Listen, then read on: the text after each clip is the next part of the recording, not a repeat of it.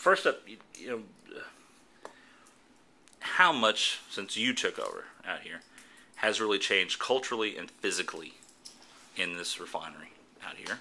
Yeah, it's, it's, it's kind of hard to describe, but it's tremendous change. I was uh, recounting this morning, talking to somebody that I met when I first got here two and a half years ago, um, both in the people, the culture, uh, the way we operate the place, and the plant physically. You know, I think the physical things are the most evident from the outside the fence, whether it's the new environmental scrubber or the the shiny new insulation on the 27 miles of steam piping, or you go through the plant as you'll get mm-hmm. a tour later today, and you'll just see the physical conditions have changed dramatically since the last time you were in the doors.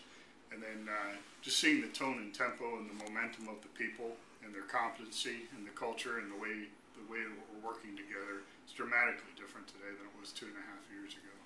Have you found a total buy-in from management all the way down to um, to contractors on changing the culture because you you said when you got here that that was going to be what was going to happen. There was no, it was very point blank, if I recall, from what you had told me a couple years ago. Yeah, yeah, and I I, I, I continue to be, uh, I guess, uh, humbled and inspired by all the people that come through here.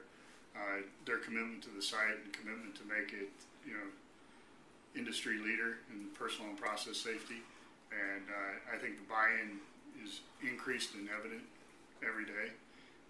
You look at what, you know, Ike, for example, the way this crew pulled together and not only supported the communities, we helped out in Galveston, we helped out in Texas City, we helped out in La Marque, but the way we supported each other mm-hmm. the houses and our rebuild, but also the way that we were able to safely restart the facility within two weeks. I think it shows kind of the new spirit and the culture, and that's as vibrant an example of buy-in as I can think about. I wonder too because the the the hurricanes almost bookmark or bookend, I should say, yeah. things for BP. Rita was the we're shutting totally down. Oh, by the way, while we're down, we're going to go ahead and start the process of retooling this refinery in the wake of the March 20 uh, March 2005 uh, explosions. Now you come to Ike, and you're riding out the storm in the brand new building over right. here with new procedures in place and new tech. Can you contrast that? I know you weren't here during Rita; it was some a little bit after that. But yeah. can you contrast that of how much of a difference it, it, it, it this place has changed since then? Yeah, well, I think the the biggest contrast you can see is in the data. You know, is roughly two weeks after Ike, uh, we had all the safety reviews done, all the repair activities complete, and the unit safely back up and running. And uh, you know seven months after uh, Rita before we had the first kind of crude units back up right. in the first train. And uh, that's a huge contrast in difference. And, and just, again, I, I saw it as much in this outage. I wasn't here for Rita, but the spirit that extended, our guys were working here, they were working at each other's houses. Uh, we had people living together. We had set up a tent city outside where we were taking care of you know, our families, contractors, giving the extra food to the relief agencies, and and you just saw the spirit kind of pour out into the community. So it wasn't even so centric to the refinery, but it really kind of poured out into the rest of the community, helping everybody get better. Let's start with the physical side of things. That changed out here. You mentioned it before. Twenty-seven miles of just of the steam piping, I yeah. guess, it's, that's out here. You know, one of the concerns when the retooling was going to begin, people said, all right, if we're just going to put up shiny new metal, that's not going to be that. But let's just talk about the physical side of things. For someone that may have not been out here, say some retiree, just y'all just had your 75th anniversary, some some retiree comes out here and you took them for a windshield tour out here. What you know, what are the things you would point out to him that are new out here?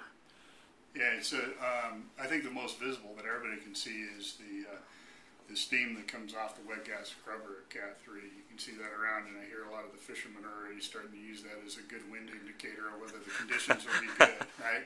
And, uh, you know, philosophically, that's scrubbing all the potential emissions out and making sure that our, our area is cleaner. And so that's probably the most visible from outside the fence. Inside the fence, like you said, you'll see uh, you know, new fractionator towers, you'll see uh, new buildings, you see new ways of working. You see less trucks and less traffic in the plant. Uh, just the tone and tempo is very different than it was in the past. Let's talk about if just for the layman's term, we talk about the, the scrubber. Yeah. Yeah, let's explain to folks about about that that may not have the technical knowledge of of what that does. You say it scrubs out the emissions, but how does that process work? And uh, so folks have a better idea. Yeah, so, so the, the wet gas scrubber is basically a, a large tower where you're, you're scrubbing by using water and steam and actually um, using some other kind of advanced technologies. And you're taking out NOx and SOx, which are potential pollutants, obviously. Scrubbing those out and also any catalyst fines that could be released into the air. So it's making sure that anything that comes off emissions wise from that unit is as clean as possible. Um, what else physically? I mean, you know, every unit's been rehaul overhauled out here and all. Have you expanded the capacity out here and all in the middle of that process as well? We have not expanded. Okay, so it's pretty much Yeah, this, you know, Texas City has always been a large and complex site. And uh, so we- we've really been focusing on is the safe, simplified facility